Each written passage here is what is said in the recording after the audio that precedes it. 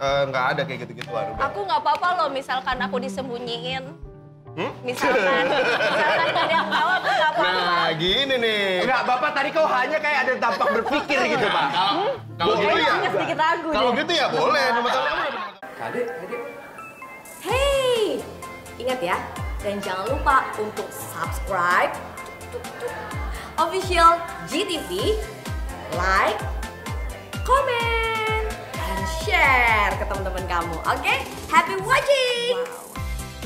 Apa yang nyerah tuh baju? Nggak tahu, Ya melorot ampun, kan gitu. bener kan? Tadi mau berontak. Ini wardrobe kagak ada yang gedean dikit apa nih baju ya, ini? maaf ya. Tapi kita akan eh, berbicara mengenai tipe-tipe cewek grupis. Kalau Nadila Sinaga ini kan Eh, beda, Ernesto.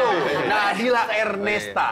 Ernest. udah terbiasa ikutin Naif ke mana-mana. Oh, nah, itu salah dong. Pas, pas, Ben. Iya, iya, iya, sorry, sorry. Netral. Netral. Justru Gak tahu ya, mereka kan sekarang umurnya juga udah nggak muda-muda banget. Udah, siapa yang udah asam urat di antara mereka bertiga? Jadi kayaknya udah maksudnya cewek-cewek itu juga yang muda-muda juga udah pada tua-tua gitu kan. Jadi grupisnya tuh bukan saat ngeband, jadi di saat waktu masih pacaran. Di bandnya sih karena anak-anaknya kan kayak metal-metal semua gitu kan. Hmm. Kalau misalnya yang bandnya, tapi kalau yang pas kita lagi pergi ke disco bareng. Nah, itu banyak. cewek-ceweknya yang bahaya. Pernah gue lempar sepatu. Serius lo? Ngapain emang dia? Nancep nggak? Enggak. Karena tiba-tiba main nyosor nyium aja. Oh, Oke. bahaya. Beneran itu langsung cut gitu? Iya. Itu Pak magnetnya dari anak band kayak gitu memang Pak. Oke, oke, Ya. oke, oke. oke. Emang banyak juga kan sebenarnya tipe-tipe grupis loh. Ya. Gak cuma satu jenis doang. Ternyata nih ya, yang pertama grupis fanatik. Nah biasanya fanatik dengan band atau penyanyi idolanya sehingga mereka hafal seluruh lagunya dan selalu datang nih ke setiap konsernya. Dan saat menyaksikan konser band atau penyanyi idola, biasanya grupis ini selalu ada dalam jajaran paling depan. Ada nggak yang kayak gitu? Oh. Ada sih kan. tahu dia lagi, dia lagi. Tapi ini apa? eh, Banyak sih ya biasanya kayak gitu. Iya, tapi nggak cewek-cewek ya. Kalau gue, gue tetap cowok-cowok yang serem-serem gitu. Gimana kalau kita langsung reka adegan aja Pak? kita reka adegan.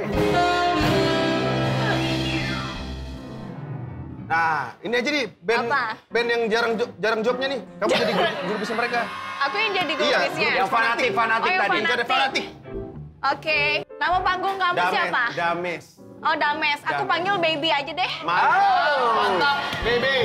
Baby. Baby, ayo dong nyanyi Baby. Oh, Oh iya saya. Oh ya udah, ya udah. lo lagi main saksofon di depan. Dia jadi fanatiknya. Oh Sini, iya, sini, sini. ayo dong, tiup aku. Eh, tiup Wadidaw. I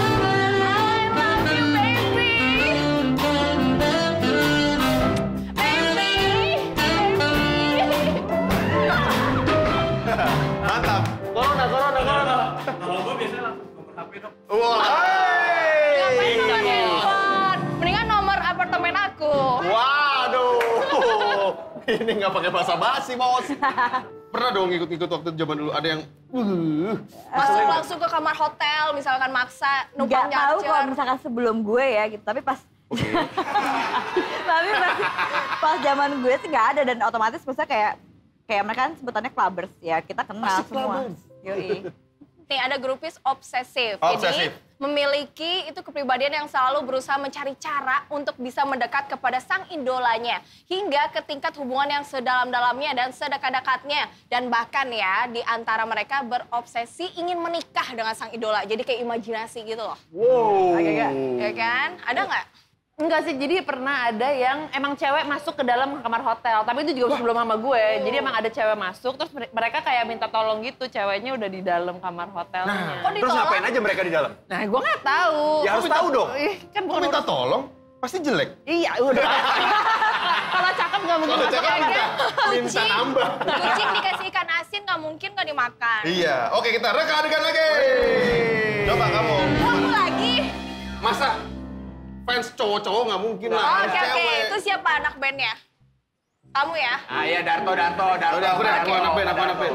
Mas jangan gitu dong, aku Ya. tuh ngefans banget tau nggak? Kamu tuh ganteng banget. Aku udah, Iya. aku udah punya istri. Aku sampai ke bawah mimpi tau gak sih sama kamu? Ya aku udah nggak bisa, aku nggak bisa, aku udah, eh, udah punya Kenapa? istri.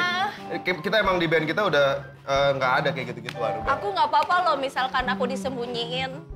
Misalkan, misalkan nggak ada yang tahu aku apa-apa. Nah, gini nih. Enggak, Bapak tadi kok hanya kayak ada tampak berpikir gitu, Pak. Kalau kalau gitu ya. agak sedikit ragu Kalau gitu ya boleh, nomor telepon udah benar teman kamu. Tapi mumpung mereka lagi jujur, kita bayar jujur, jujuran. Mau ambilin Ini saatnya kalian mengeluarkan semuanya. yang mana? Mengeluarkan apa? Fakta-fakta, Fakta-fakta. kenangan-kenangan masa lalu dalam bentuk kejujuran. Baik. Oh, tidak bisa di eh, apa namanya? Tidak bisa dijawab, harus dare. Ini dicontohin dulu. Ayo dong. sesek ya? Kodos. Kodos, kocok dong, say. Asik. Kocok dong, say. Mantap.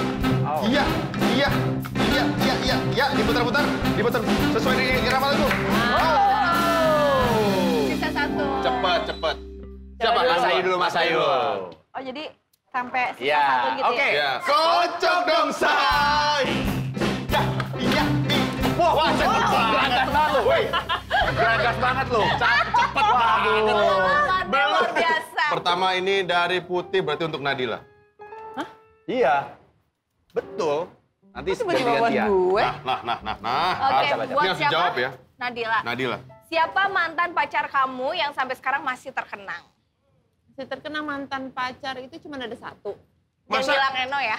Iya. Serius, serius, cuma satu. Pacarnya cuma sekali. Dia pacaran dua kali ya sama Eno. Jadi ya udah ya yang satu itulah siapa lagi tapi nggak terkenang juga sih. Biasa aja. Kenapa? Heeh, karena gue memiliki kenangan-kenangan sama yang lain. Udah.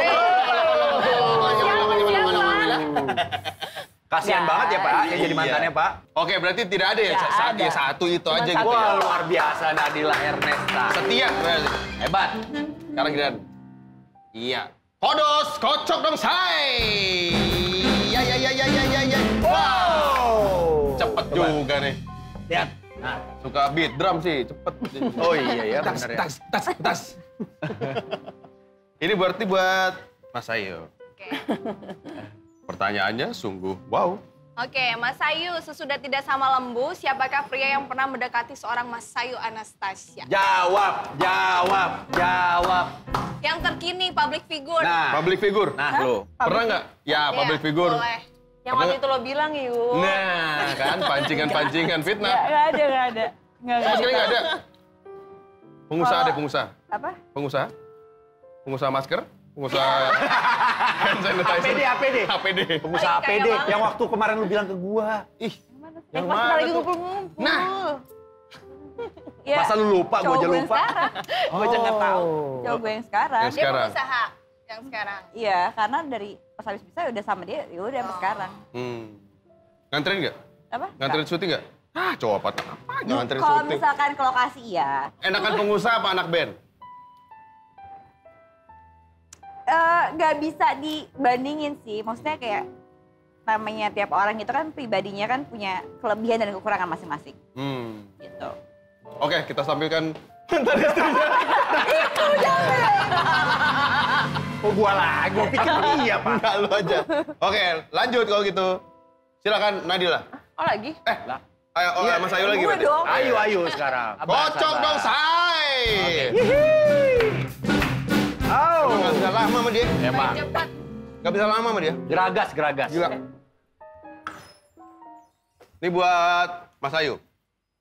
Ma, siapakah? Harus dijawab ya. Artis sinetron yang menurut kamu aktingnya biasa, tapi kok bisa terkenal? Aktingnya standar, tapi kok bisa terkenal? Ya, karena gini, gue nggak bisa menilai karena kan kayak kita nonton, misalkan menurut kita nggak bagus, cuma kan kita nggak tahu tuh yang dimau sama penulis, sutradara itu seperti apa Wah, dalam-dalam. gitu. Jadi kan karakternya seperti apa, menurut kita ah ini kayak kurang nih, tapi menurut sutradara sama penulis dan produser udah cukup, Hmm. mau gimana? Iya. Oke. Ntar jadinya gue jatuhnya so tau dong. Iya, iya, iya. iya. Nadila. Mm-mm. Kodos, kocok dong, say. Ya. Tiga hari, tiga hari, tiga hari. Tiga hari. Eh, keluar. Tetap cepet loh dia. Oh, iya. Gahar nih Nadila nih. Gila. Lagi nggak fit ya cepet banget. Bener. Lagi nggak Lagi capek, capek. Kurang tidur. Udah kelamaan Alibi nggak? aja lu pada.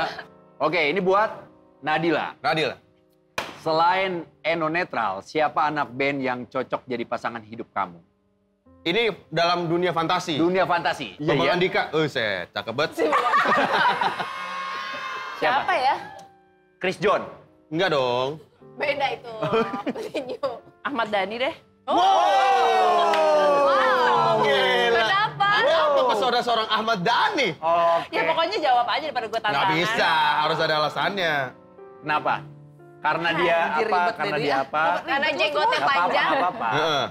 Tenang aja, Eno nggak nonton kok Mm-mm. acara ini. Eno udah tidur. Kenapa ya? Karena tiba-tiba karena lagu-lagunya enak juga jadi gue suka. Oh, Ahmad Dhani. Hmm. karyanya. Kali. Ahmad. Oke, lagu apa yang paling.